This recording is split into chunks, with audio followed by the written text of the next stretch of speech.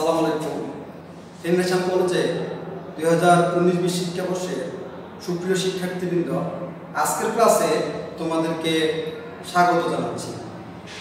আজকের ক্লাসে আমরা কৃষি কিছু বিষয় নিয়ে আমরা আলোচনা করব। আমি বোর্ডে টপিকগুলো লিখে দিয়েছি। আশা করছি তোমরা ক্লিয়ারলি বোর্ডটা দেখতে পারতেছো। তো দেখো, প্রিয় শিক্ষার্থীগণ, আমরা এখানে কিছু টপিক নিয়েছি। একটা হচ্ছে কৃষি ডায়েরি। একটা হচ্ছে ই কৃষি, একটা হচ্ছে বি আর আর আই, একটা হচ্ছে বি আই এন আই। আমরা এখন এই বিষয়গুলো নিয়ে আলোচনা করব, ঠিক আছে? প্রথমে যদি আমরা এখানে তাকাও যে কৃষি ডায়েরি বলতে আমরা কি বুঝি? অর্থাৎ কৃষি ডায়েরি হলো কৃষি সংশ্লিষ্ট সকল দপ্তর, অধিদপ্তর, সংস্থা, ব্যক্তি, ফোন, ফ্যাক্স নম্বর, ইমেল, ওয়েবসাইটের তথ্য সংবলিত একটি প্রকাশনা। অর্থাৎ এই যে কৃষি ডায়েরি এইখানে কি সম্পর্কিত যত ধরনের তথ্য আছে ওয়েবসাইট আছে এবং সকল কৃষি দপ্তর, অধিদপ্তর, সংস্থা ফোন ফ্যাক্স নম্বর ওয়েবসাইট ইত্যাদি সব কিছুই এই কৃষি মধ্যে কি আছে অন্তর্ভুক্ত?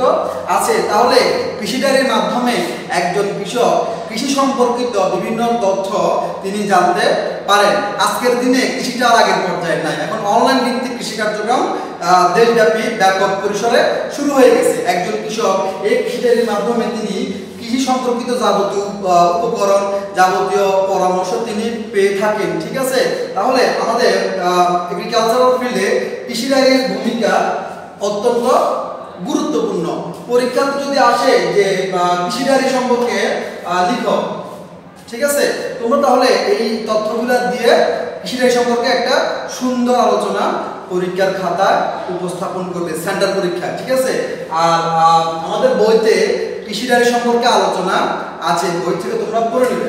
তারপর দেখো ই কৃষি ই কৃষি ই কৃষি বলতে আমরা কি বুঝি? ই কৃষি হলো একটি ইলেকট্রন ভিত্তিক কৃষি তথ্য প্রদান কার্যক্রম।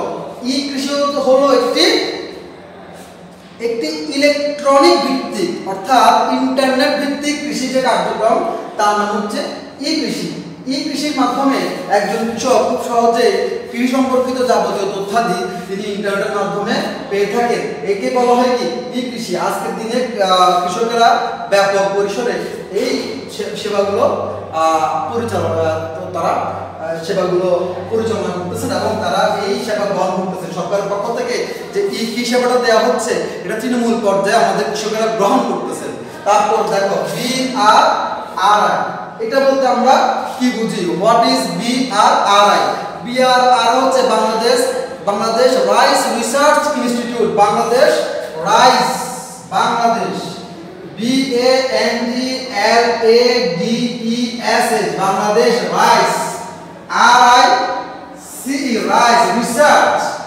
R E S E A R C H Bangladesh rice institute I N I I N S T I T U T U T Bangladesh rice research institute মানে হচ্ছে বাংলাদেশ ধান গবেষণা কেন্দ্র, ঠিক আছে? এই Bangladesh rice research institute B R R I Bangladesh rice research institute. এই ইনস্টিটিউটের মাধ্যমে যাবতীয় তথ্যাদি এখানে সংরক্ষিত থাকে এবং এখান থেকে ভালো মানের রিসার্চ ইনস্টিটিউট মানে কি? যেখানে রিসার্চ করা হয়। বাংলাদেশের ধান গবেষণা কেন্দ্র, এটা গাজীপুরে অবস্থিত। ঠিক আছে? তারপর দেখো আরেকটা হচ্ছে B I N B I N what is the meaning of B I N A B নাকি বি না হচ্ছে Bangladesh institute institute of nuclear nuclear agriculture ঠিক আছে? Bangladesh B A N G L A D E S H Bangladesh institute of, Bangladesh institute of I N I I N S T I, T U T Bangladesh institute of nuclear, N U C L E A R, nuclear agriculture agriculture, C U L T U R, Bangladesh institute of nuclear nuclear agriculture Bangladesh পরমাণু, কৃষি পরমাণু গবেষণা কেন্দ্র। এই, এইটা হচ্ছে বিআইএনআই এর পূর্ণরূপ, ঠিক আছে? অর্থাৎ এই চারটি বইতে দেওয়া আছে। তোমরা বই থেকে দেখবা। আমি আশা করি তোমরা বোর্ডকে ক্লিয়ারলি দেখতে পাচ্ছ ধরে লেখাগুলো, ঠিক আছে? এগুলো তোমরা বই তো পাবা। বই থেকে তোমরা এগুলা দেখে নিবে এই সম্পর্কে। বিস্তারিত আলোচনা বইতে দেওয়া আছে। আমি আশা করি তোমরা বোর্ড ক্লিয়ারলি দেখতে পাচ্ছ। ঠিক আছে?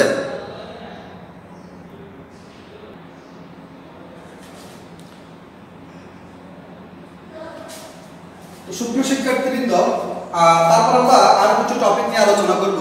টপিকগুলো হচ্ছে কৃষি সার্ভিস কৃষি সম্প্রসারণ প্রতিষ্ঠান। ছোট মাছ, এটা তোমাদের মৎস্য টপিক থেকে নিয়েছে, ছোট মাছ।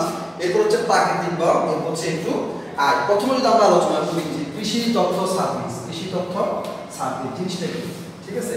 কৃষি তথ্য সার্ভিস হলো এমন একটি প্রতিষ্ঠান, যেই প্রতিষ্ঠান তার জন্মলগ্ন থেকে নিরলসভাবে গণমাধ্যমের সাহায্যে কৃষি তথ্য ও প্রযুক্তি তৃণমূল পর্যায়ে দ্রুত বিস্তার কার্যক্রম সম্পন্ন করে আসছে, এটা হচ্ছে কৃষি তথ্য সার্ভিস তাহলে সে কৃষি তথ্য এবং প্রযুক্তিমূলক বিভিন্ন কার্যক্রম যেই প্রতিষ্ঠান নিরলসভাবে তাদের জন্মলগ্ন থেকে, এই সার্ভিসের জন্মলগ্ন থেকে তারা নিরল, নিরলসভাবে কৃষকদের তৃণমূল পর্যায়ে কৃষি বিষয়ক যাবতীয় তথ্য তারা উপস্থাপন করতেছে। এটা হচ্ছে কি কৃষি তথ্য সার্ভিস ক্লিয়ার এরপর হচ্ছে কৃষি সম্প্রসারণ প্রতিষ্ঠান। কৃষি সম্প্রসারণ প্রতিষ্ঠান বলতে আমরা কি? বুঝি। অর্থাৎ কৃষি সম্প্রসারণ প্রতিষ্ঠান হলো যেসব প্রতিষ্ঠান কৃষি টেকসই প্রস্তুত প্রযুক্তি সম্পূর্ণ প্রযুক্তিসমূহ কৃষকদের মধ্যে বিস্তারে সাহায্য করে এবং কৃষকদের যথাযথভাবে প্রযুক্তি ব্যবহারে সহায়তা করে তাদেরকে কৃষি সম্প্রসারণ প্রতিষ্ঠান বলে। অর্থাৎ কৃষির বিভিন্ন প্রযুক্তিকে ব্যবহার করে সঠিকভাবে কৃষিকাজ করার জন্য যেই প্রতিষ্ঠান কৃষকদেরকে বিভিন্ন সময় বিভিন্ন সেবা দিয়ে থাকেন, বিভিন্ন তথ্য দিয়ে থাকেন কৃষি সম্প্রসারণ প্রতিষ্ঠান অর্থাৎ এগ্রিকালচারকে তারা এক্সটেন্ড করে। এগ্রিকালচারাল ফার্ম এগ্রিকালচারাল ফিল্ডকে এক্সটেন্ড করাই বর্ধিত করা হচ্ছে কৃষি সম্প্রসারণ প্রতিষ্ঠানের কাজ। ঠিক আছে? দেখো একটা টপিক হচ্ছে কি? ছোট মাছ বলতে কি বুঝি? এখন দেখো, ছোট মাছ বলতে কি বুঝি? এটা একটা প্রশ্ন আসতে পারে। তো প্রশ্ন তুমি কীভাবে উত্তর করবা? যদি সেন্টার পরীক্ষাতে আসে, ঠিক আছে? দেখো, ছোট মাছ বলতে আমরা কি বুঝি? ছোট মাছ হচ্ছে যে সকল মাছ পঁচিশ সেন্টিমিটার কম আকারের, তাদেরকে ছোট মাছ বলা হয়। অর্থাৎ বিলো টোয়েন্টি ফাইভ সেন্টিমিটার অর্থাৎ পঁচিশ সেন্টিমিটার থেকে কম। যে সকল মাছ ঠিক আছে, অর্থাৎ জিরো থেকে টোয়েন্টি ফোর সেন্টিমিটার এটা কি মাছ? এটা হচ্ছে ছোট মাছ, কিন্তু একটা মাছ যখন পঁচিশ সেন্টিমিটারের পর তার আকার হবে, তাকে কোনোভাবে আর ছোট মাছ বলা যাবে না। তাহলে আমরা ছোট মাছ বলতে কি বুঝি? যে সকল মাছ পঁচিশ সেন্টিমিটারের চেয়ে কম, তাদেরকে বলা হয় ছোট মাছ। ঠিক আছে? আশা করি তোমরা ক্লিয়ারলি বুঝতে পারতেছো। তারপরে দেখো, দুইটা জিনিস, প্রাকৃতিক এখানে দুইটা জিনিস আমরা বুঝিয়ে দিচ্ছি একসাথে। একটা হচ্ছে natural forest N A T U R A L natural forest ঠিক আছে? আর একটা হচ্ছে আর্টিফিশিয়াল ফরেস্ট আর্টিফিশিয়াল ঠিক আছে? Artificial forest F O R E S T দেখো ন্যাচারাল ফরেস্ট মানে হচ্ছে প্রাকৃতিক বন, আর আর্টিফিশিয়াল ফরেস্ট মানে হচ্ছে কি? কৃত্রিম বন। তাহলে ন্যাচারাল ফরেস্ট কারা? যে সকল বন ন্যাচারালি নিজে নিজে, কারও সাহায্য ছাড়া সে উৎপন্ন হয়েছে, জন্মেছে এবং আস্তে আস্তে ধীরে ধীরে প্রকৃতির সাহায্যে বৃষ্টির মাধ্যমে মাটির উর্বরতার মাধ্যমে সে অটোমেটিক্যালি বেড়ে উঠেছে। যেভাবে, এইভাবে বেড়ে ওঠার মাধ্যমে যেই বনটা তৈরি হয়েছে, সেই বনের নাম হচ্ছে প্রাকৃতিক বন অর্থাৎ ন্যাচারাল ফরেস্ট এরপর হচ্ছে আর্টিফিশিয়াল ফরেস্ট বা কৃত্রিম বন। এটা কি জিনিস? আমরা নিজেরা যেসব গাছ লাগাই, আমাদের বাড়ি আঙিনায় আমাদের পুকুরের পাশে, আমাদের বিভিন্ন জায়গায় আমরা একটা স্পেসিফিক জায়গায় আমরা যেসব গাছ লাগিয়ে থাকি সেসব গাছের মাধ্যমে যে বনায়নটা গড়ে ওঠে এই বনায়নের নাম হচ্ছে কৃত্রিম বন। আর ইংলিশ নাম হচ্ছে আর্টিফিশিয়াল ফরেস্ট আমি আশা করি তোমরা আমার কথা বুঝতে পারতেছো। এরপর দেখো A two I what is A two I A two I জিনিসটা কি? এ টু আই হচ্ছে access access a double c e double s access to information. I n f o r m a t i o n. Access to information. Access to information হচ্ছে কি? এমন একটি প্রকল্প যার কার্যক্রমের মাধ্যমে বিদ্যালয় ও ইউনিয়ন পর্যায়ে কম্পিউটার সামগ্রী সরবরাহ করা হয়েছে।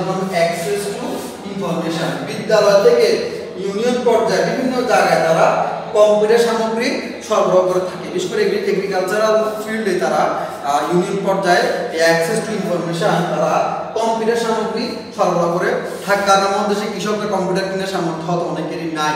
তারা এই কম্পিউটার বিভিন্ন তাদের ইউনিয়ন পর্যায়ে সরবরাহ করে কৃষকদেরকে অনলাইন ভিত্তিক কার্যক্রম দেওয়ার জন্য যে সেবাটা চালু করতেছে, তার নাম হচ্ছে অ্যাক্সেস টু ইনফরমেশন ঠিক আছে? আমি আশা করি তোমরা বোর্ডটা ক্লিয়ারলি দেখতে পাচ্ছ বোর্ডে শুধু প্রশ্নগুলো লেখা, আমরা এটা আলোচনা করে দিয়েছি। বই তো তোমরা এই সম্পর্কে আলোচনা পাবে।